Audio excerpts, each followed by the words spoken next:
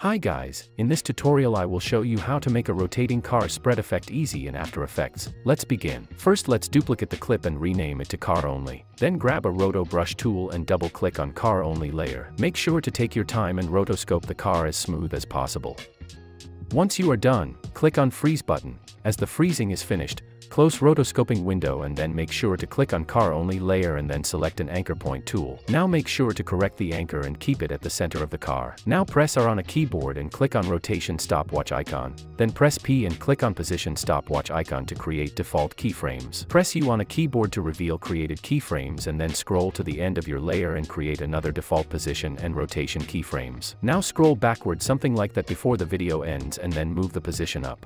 Then change rotation to 5. Let's duplicate car only layer and press U on a keyboard. Now do the same, move the position up and then change the rotation, but this time rotation should be 10. Duplicate that layer now and continue the same way. Duplicate the layers as much as you wish. Once you are done and it's enough, select all created keyframes and then press F9 on a keyboard to easy ease them. Then go to Graph Editor, right click here and select Edit Speed Graph and make a smooth curve.